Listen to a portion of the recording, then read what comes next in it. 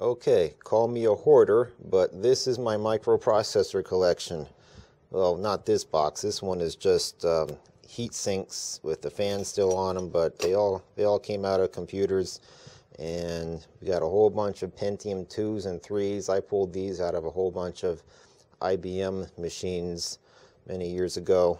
And then there's some other microprocessors, probably Pentium 1s here with the fans still attached on them and there's some more Pentium ones. Got got a really nice gold gold plated cover on this one but everything else is just ceramic or circuit board style.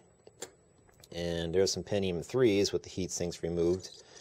And here's my giant stack of 486s look at that got a little AMD processor here copyright 1999 and there's some Pentium 4s.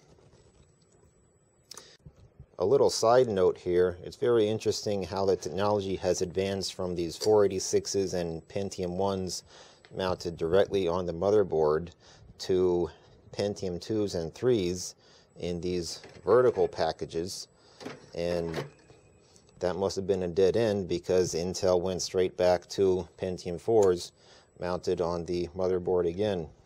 So I'm not sure how that came about, but little interesting historical perspective.